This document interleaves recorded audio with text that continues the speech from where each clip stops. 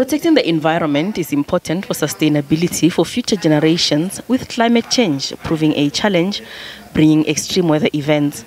Jonathan Oppenheimer of the Oppenheimer Generations Philanthropies says there should be robust boundaries about solid, liquid, and gaseous waste in a quest to protect the environment. I think that the world today is inclined towards a tick box exercise with a whole bunch of unintended consequences instead of actually a, a, process which says these are the boundaries which you need to respect. If you don't respect them, woe betide you, the capital investor, the operator, whomever it happens to be. And I think that if we can get back to a world which encourages, accepts, and, and welcomes capital, gives capital that return, but also has those very, very strong boundaries with a serious and meaningful um, punishment around the boundaries while leaving the space to innovate and evolve within that space, then I think we'll have a vibrant, prosperous economy.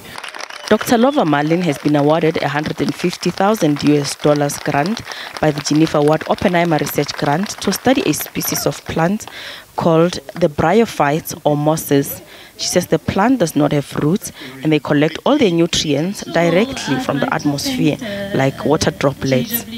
Dr. Marlin says these plants are a good bioindicator of climate change and an indicator of the state of the environment they are in. In Madagascar, we have a really bad air pollution, in, especially in the capital, and also in some of the rainforest, although you think that the air would be clean there, it turns out it's not that clean.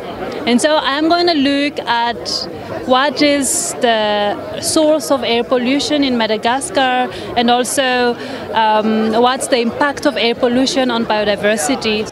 Marlin says air pollution can be damaging to human health and adds to global warming by increasing the level of gases that trap heat in the Earth's atmosphere.